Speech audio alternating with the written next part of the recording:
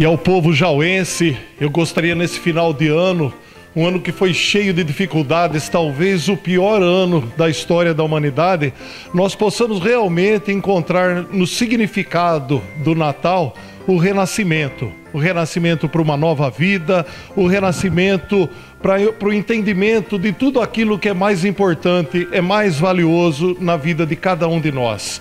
Um feliz Natal a todos e que o ano novo seja repleto de realizações, de conquistas e de valorização das coisas que realmente têm significado na vida de cada um de nós. Feliz Natal, feliz Ano Novo, povo jauense.